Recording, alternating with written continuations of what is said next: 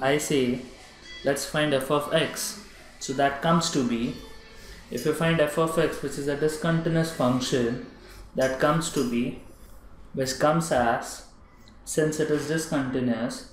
I just write f of x is discontinuous at x equal to 0 therefore I say f of x is nothing but 1 by 2 limit extends to c dash f of x plus limit extends to c plus. This is c minus this is c plus f of x. Since you can say that your c point is nothing but you can say x is equal to c.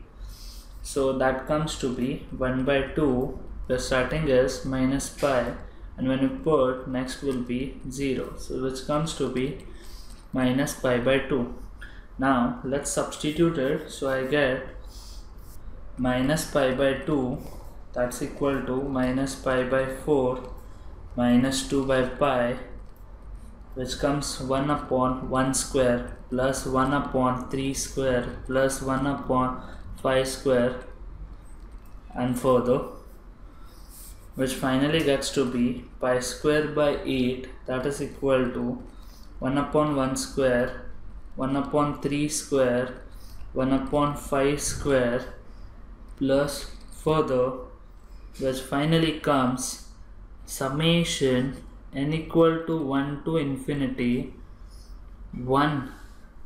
divided by 2 n minus 1 the whole square so that's my final answer.